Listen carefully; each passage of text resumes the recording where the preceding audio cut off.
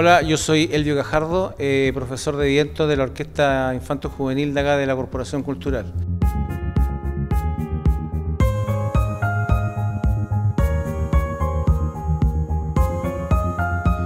Bueno, todos saben que este año ha sido medio complicado para todo ámbito, pero nosotros acá en el Centro Cultural y en la Orquesta eh, Infantil hemos tratado de trabajar eh, lo máximo posible todo lo que requiere con la música con un gran apoyo sobre todo de los apoderados, que tienen que darse los tiempos para trabajar con los niños eh, a distancia, el trabajar eh, online, una cosa eh, musicalmente difícil, porque va el desfase de la comunicación y todo eso, y técnica, muchos tipos de técnica para ejecutar se enreda demasiado. Pero con todo y eso ya estamos